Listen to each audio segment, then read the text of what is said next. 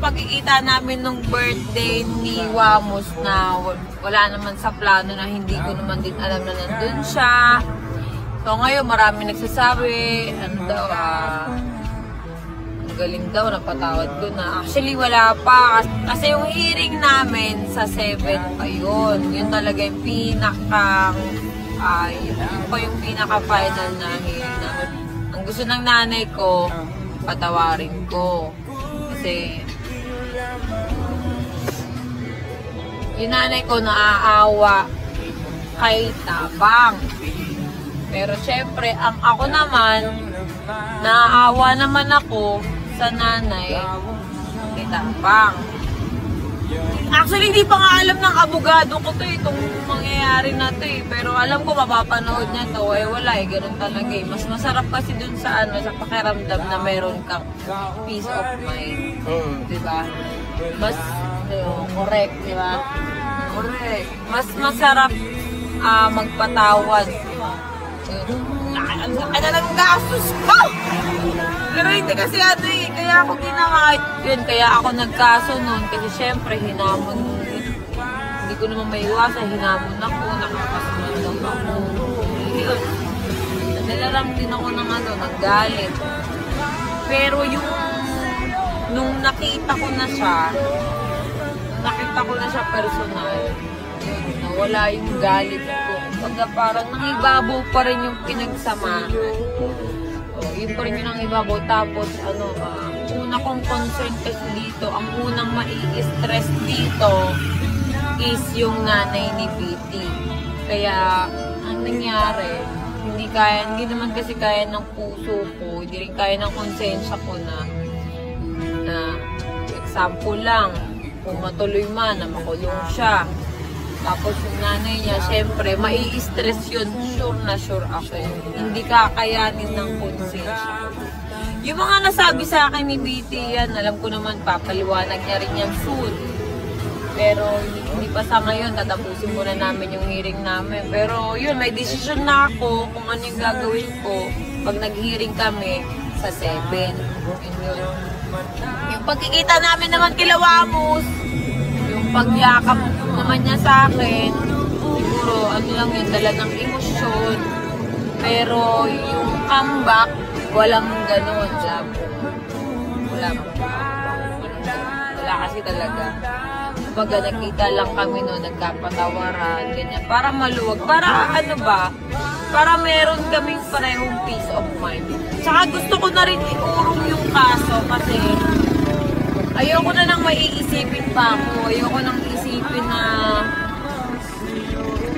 na lagi na lang siya pumapasok sa isip ko kasi nga iniisip ko yung kaso patuloy pa rin.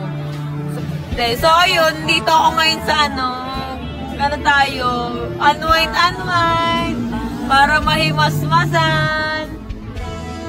Lang, tapos ano, ah,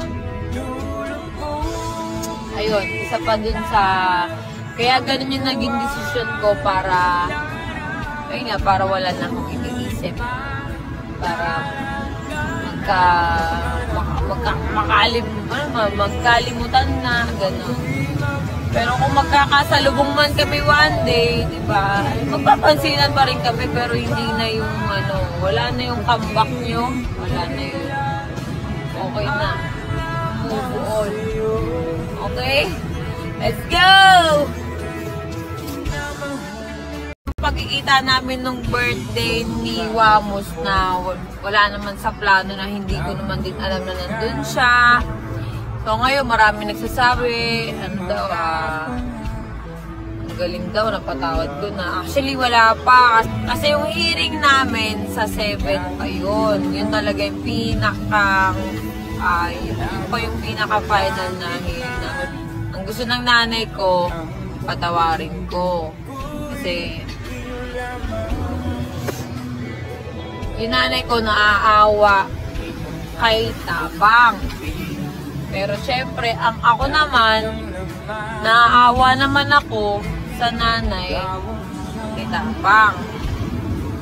Actually, hindi pa nga alam ng abogado ko to, itong mangyayari na to eh. Pero alam ko, mapapanood niya to. Eh, wala eh, ganun talaga eh. Mas masarap kasi dun sa ano, sa pakiramdam na meron kang peace of mind. Oo. Di ba?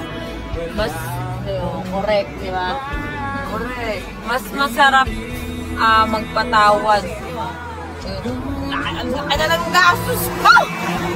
Pero hindi kasi ano eh, kaya ako ginawa yun, kaya ako nagkaso noon kasi syempre hinamon, hindi ko naman maiwasan, hinamon ako, nakakasunod ako. Yun. Nalaram din ako ng ano, ng galit. Pero yung, nung nakita ko na siya, nakita ko na siya personal, yun, nawala yung galit ko. Pagka parang nangibabaw pa rin yung pinagsamahan.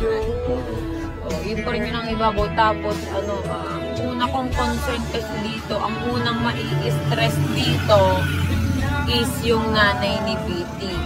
Kaya, ang nangyari, hindi kaya, hindi naman kasi kaya ng puso ko, hindi rin kaya ng konsensya ko na, na, example lang, kung matuloy man na makulong siya, tapos yung nanay niya, syempre, mai-stress yun. Sure na sure ako.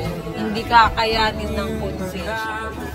Yung mga nasabi sa akin ni BT yan, alam ko naman, papaliwanag niya rin yan soon.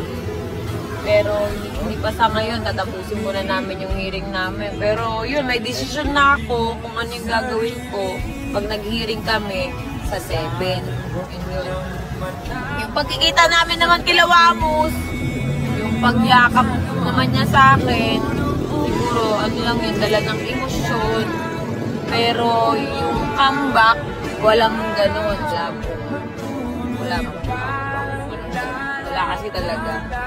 Kumbaga nakita lang kami no, nagkapatawaran, ganyan. Para maluwag. Para ano ba?